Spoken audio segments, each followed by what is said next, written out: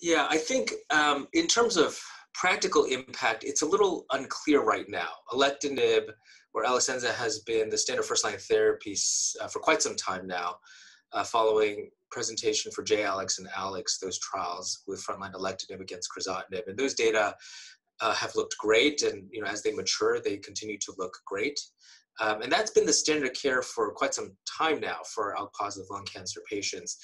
Um, there's no cross, there's no uh, head-to-head comparison between brigatinib and alectinib. That trial's never been done, um, and so we don't know um, which one is sort of better, which one should be selected over another one. And so I think from a practical standpoint, for from a patient, it's unclear which one should be chosen first. Um, you could play sort of the exercise of cross-trial comparison, understanding that there are caveats to that, to try to make some kind of decision as to what to do. Um, and that is maybe somewhat helpful. You know, the, the PFS data in particular for alectinib may be a little bit better by hazard ratio and median PFS than brigatinib. Uh, but at the end of the day, we just, we kind of don't know because we haven't done that head-to-head trial. They're both better, clearly, than crizotinib. Um, and so I think practically, uh, many of us will continue to prescribe alectinib um, because the experience with that has been so great in the past and because that, those data are pretty mature. Um, so we'll see. There is a second line trial that's comparing brigatinib versus alectinib that's being done. Um, and so that readout should be interesting uh, because if there's a signal that one is better than the other in the second line setting, that may um, end up informing how people operate in the first line setting. So I think that may be the closest thing uh, to data that might help clarify that situation. Um, but uh, but yeah, practically it's it's a little bit uh, unclear uh, from a rigorous standpoint as to which one to use in the frontline setting.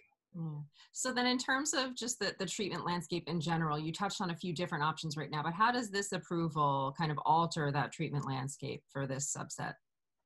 Um, it doesn't too much uh, insofar as, um, and that's what happens when you have really great drugs uh, that are available right at the beginning for our patients. Um, and so it, it, doesn't too much. It's another, you know, great drug uh, compared to what the old standard used to be.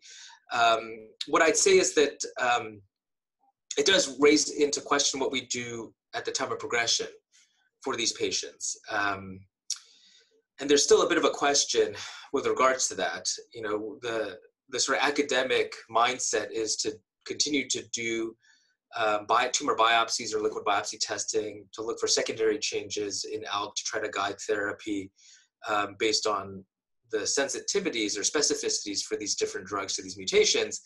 Um, but that can be hard from a practical standpoint, um, and um, and that requires a certain amount of um, sort of knowledge that is maybe hard to disseminate out into the community.